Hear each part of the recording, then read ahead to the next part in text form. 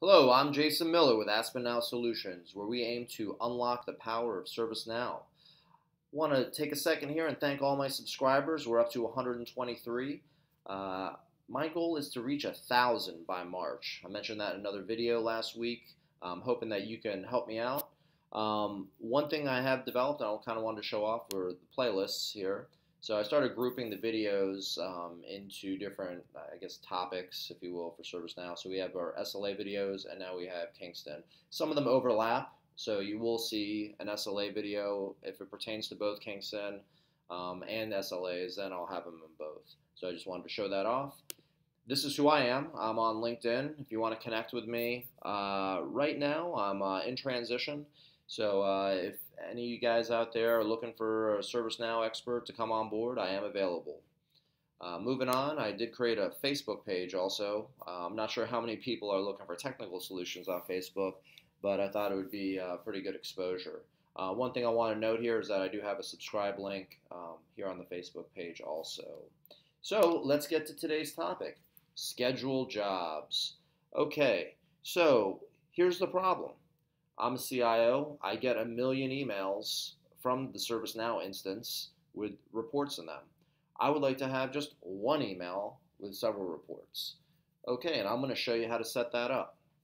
So um, first, to get to schedule jobs, we're going to type in Ed Joe in the filter navigator right here. All right, there's Ed Joe, and then we're going to go to schedule jobs in system definition. It's just chugging away nicely there, isn't it? Now I'm going to show you Jason's report. This is the one that I created. Um, what I'm going to do is I'm going to hit execute now and I'm going to let what this is doing is it's sending it's executing the job now so it's going to send the report uh, to my email and I'm going to show you what the contents are in just a second. So uh, let's see here kind of a lot going on. Um, we have here the name then you have to search for the report name that you want. And remember, the CIO wants more than one report. So I'm going to show you that in just a second. Um, here are the users that they're going to. Um, and then if you wanted to, if you had like external customers or people that aren't in your database, um, if you want to send it to an email address, you could do that right here. Um, let's see here. Make sure it's active. Application scope is important. And this is telling it when to run. If we want to do like periodically or something like that, we could do it every 14 days, or let's just say every five days, and then it would start, um, you know, whenever we designate it on the calendar. So I don't know, maybe I'll set it up for tomorrow, uh, something like, or, or excuse me, uh, that's today. Uh, let's do 30th maybe. I don't know. If we wanted to make it conditional and script it out, we could do that. We just click on this box, and then you can script away right here. I'll leave that uh, to all you super coders out there. Uh, I try to do low code or no code solutions. Um, let's see here. Omit if no record. So basically, what this is telling the instance to do is when the reports run, if there aren't any records, then don't send anything. So that's what this does right here. So if you check the box, no, no big deal. The only thing is, is that um, if you're running a bunch of reports, um, then you know you you might get a question of like why one is quote unquote missing. So, um, and then down here uh, we see uh, obviously we have our subject, introductory message. Uh, this is all pretty standard stuff.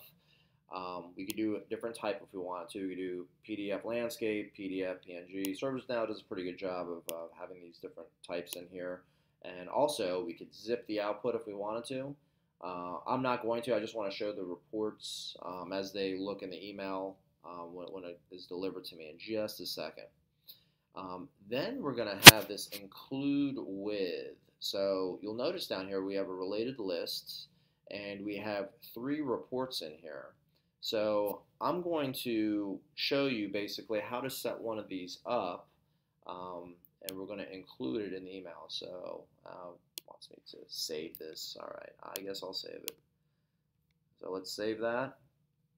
And one other thing I wanted to note before um, before we get to that is that in reports, when you go to reports, remember the forward slash trick I taught you in the other video, just hit space, forward slash, and then view run comes up for reports. If you wanted to, you could go into uh, one of these report, I don't know, SLA average time, This one's already scheduled, so uh, let's see. It's going to be a little icon right here uh, as soon as it comes up, whenever that is. So right here, if we wanted to, we could schedule it. This will pull up basically the same screen. So you could do it from here if you want to, um, but generally this is probably a little bit um, more sound approach for the CIO's issue that we're facing today. So included in email, what do we have here? Marketing events by city, scheduled executions of SLAs, blah, blah, blah. We have single score. Now we want to do a new one. So what I'm going to do is I'm just going to name it um, another SLA report. Stack one up. All right, now we're just going to look for the report.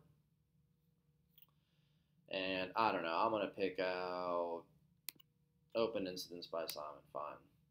And then I'm going to submit it. It's going to be included there in Jason's report. Saw that at the bottom. Of course, oh, my lovely instance loves to act up. Okay, that's fine. We'll just go right here. And you'll see it, yep, it appeared right there. Now, when we go back to Jason's report, let's take a look at our related list. Okay, so now we have four reports here. I'm going to execute this now. And let's take a look at my email to see if the other one came through with the three reports that I sent before. Uh, ah, looks like looks like I was testing it a little bit there. So, oh, looks like here we go. By stage, marketing events, great. Let's see here. Yeah, so now we have a total of five coming to us. That's right, I made a mistake. I said four. Four is the old number because remember that uh, we had that one uh, with the, if I go to Jason's report, sorry for all the clicking, because we have this one right here, plus we're going to have four down here. So before we added this one, it was only uh, four, now it's five. So we'll see if the other one comes through. It looks like another one came through. Let's do, and there we go. We have five attachments right there. So again, you know, this this could be just a matter of style. If you prefer to send individual emails, that's fine. But if you ever have that requirement where you want to get uh, more information into one email, um, then you know this would be the way to, to, to solve that problem. Okay, well that's it for today. Uh, again, my name is Jason Miller with AspenNow Solutions, and we just unlocked the power of ServiceNow. Have a great day. Thank you.